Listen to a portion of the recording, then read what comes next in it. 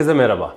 Eğer jinekoloğunuz size histeroskopi yapacağım, yapmamız gerekiyor demişse eğer bu videoyu izlemenizde fayda var. Histeroskopi dediğimiz şey eğer size histeroskopi yapılıyorsa büyük olasılıkla rahimde bir problem vardır. Yani histeroskopi rahme bakmak anlamına geliyor. Skopi demek gözlemlemek demek. Yani rahmin içine bakıp neden ve nasıl bir problem olup olmadığını anlamaya çalışacak ve bunu tedavi edecek veya etmeye çalışacak demektir. İşte histeroskopi dediğimiz şey genellikle kimlere yapılıyor diye soracak olursanız bir kere en çok bizim genel popülasyonda gördüğümüz rahim içi kanama yani aşırı adet düzensizlikleri, aşırı kanamaları olan kadınlara yapıyoruz histeroskopi. Yani aşırı kanamanız var. Biz rahmin içine giriyoruz. Hemen resimde göreceksiniz. Kamerayla girip acaba bu kanama neden oluyor diye bakıyoruz. Genellikle histeroskopide rahim içine baktığımızda ya bir polip ya bir miyomla karşılaşıyoruz. Bunların ikisi de iyi huylu aslında e, oluşumlardır. Onun dışında histeroskopi çok nadiren de olsa kaybolmuş riyalarda yani spiralleri kaybolmuş, spiralleri kırılmış. Bazen spirali çıkartmak istediğimizde çıkaramıyoruz. Histeroskopi ile rahmin içine bakıp o spirali çıkarmaya çalışıyoruz. Veya bir problem var mı bunu anlamaya çalışıyoruz. Onun dışında yine özellikle tekrarlayan düşük yapan kadınlarda acaba rahim içinde bir problem var mı? Rahim içinde bir perde var mı diye bakıyoruz. Eğer varsa bir perde histeroskopi ile bu perdeyi kesip ortadan kaldırıp tekrar gebe kalmasına, sağlıklı bir çocuk yapmasına yardımcı olmaya çalışıyoruz. Aynı zamanda histeroskopi ile rahim içindeki özellikle yapışıklıklar vesaire var mı bunu anlamaya çalışıyoruz. Yani rahim içinde olabilecek her türlü patolojide histeroskopi yapıyoruz. Histeroskopiyi yalnız kime yapmıyoruz derseniz histeroskopiyi özellikle aktif enfeksiyon olan, absesi olan kadınlarda histeroskopik müdahale yapmıyoruz. Genelde e, olmadığı zaman histeroskopi adet bitiminden sonra yapılır genellikle. Mümkünse de işte adet biter, adetin 10. gününe kadar ki süreçte yapmak da fayda vardır. Eğer diagnostik yani tanısal bir süreç yapıyorsak.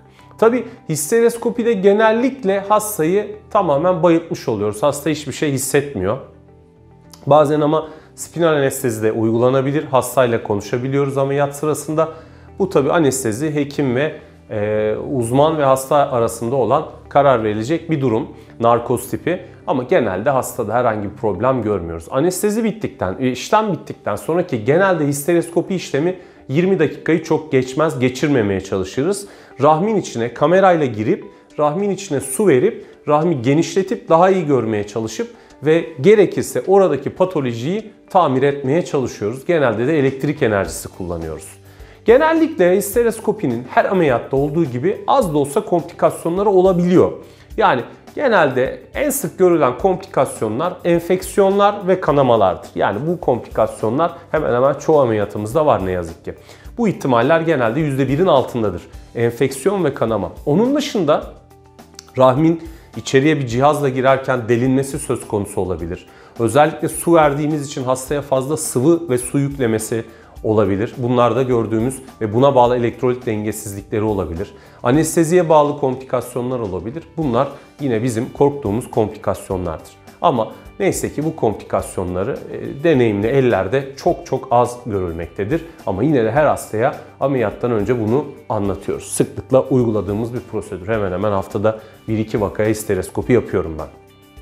Onun dışında e, histeroskopi yaptığımız hastaları akşamına eğer sabah yapmışsak ameliyatı akşamına taburcu ediyoruz, evine gönderebiliyoruz. Histeroskopiden sonra hafif böyle kanlı bir akıntı olabilir birkaç gün. Birkaç gün hatta bir haftaya kadar böyle lekelenme tarzında kanamanız olabilir. Ama e, biz genelde taburcu ederken hastaya bunlar olmasın diye önerilerimizde bulunuyoruz. E, profilaktik antibiyotiğimizi veriyoruz, ağrı kesicimizi veriyoruz ve hastayı yine takibe alıyoruz. Eğer hastalar histeroskopi yaptırdınız, histeroskopiden sonra mutlaka mümkünse yanınızda bir refakatçi gelsin sizi eve götürmek için. Araba kullanmanızı önermeyiz. Bir 3 hafta kadar cinsel ilişkiye girmenizi önermeyiz. Bir hafta içinde normal aktivitelerinize çok rahatlıkla dönebilirsiniz histeroskopi ameliyatından sonra. Bir 2-3 gün ama böyle daha kendinize dikkat etmenizde fayda var. Mutlaka hastaneden hastaneye gelirken ve daha sonra iş, işlem sonrası hijyenik pet kullanmanızı öneriyoruz. Histeroskopi işlemi sonrası kesinlikle vajinaya herhangi bir tampon veya vajinal bir duş şeklinde vajinanın içine bir şey e, temas etmesini istemiyoruz. Bu da çok önemli ayrıntılardan bir tanesi.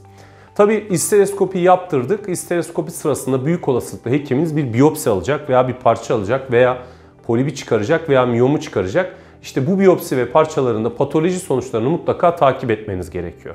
Tabii ki hekiminiz yani ben kendi hastalarımın bütün sonuçlarını takip ediyorum ama sizler de bunu takip etmeniz gerekiyor. Kendi sonucunuzu olası bir aksilik olmasın diye sonuç miyom çıkabilir. Çok nadiren sonuç kötü bir şey, kanseröz bir lezyonda çıkabilir.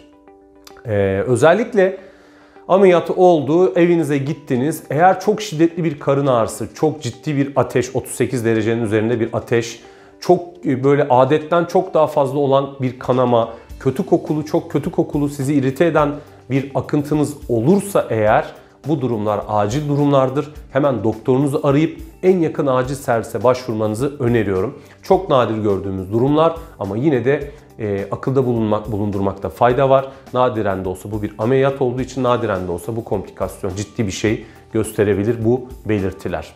O yüzden histeroskopi ameliyatı olacaksanız eğer bu videoyu izlemenizde aslında fayda var. Eğer bir sorunuz olursa, histeroskopi ameliyatı olsanız da olmasanız da herhangi bir kafanıza takılan bir şey olursa hemen burada videonun altına yorumlar kısmında yazabilirsiniz.